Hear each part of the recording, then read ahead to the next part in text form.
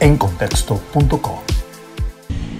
Actualizamos las noticias en encontexto.co y Cartagena sigue consolidándose como la ciudad del turismo en Colombia. Según Cotelco, que agreme a 59 hoteles de la ciudad, el fin de año y el primer puente de Reyes hubo una ocupación entre el 90 y el 94%, mejorando la del 2018. Incluso hubo hoteles, según Cotelco, que registraron hasta un 98% de ocupación.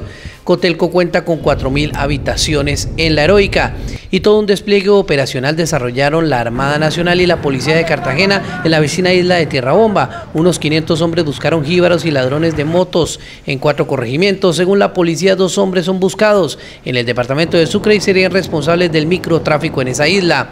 En la ciudad de Barranquilla, la policía incautó un arma de fuego y una motocicleta a dos presuntos atracadores que en la huida después de hurtar las pertenencias de una pareja causaron un accidente de tránsito cerca al barrio del Silencio.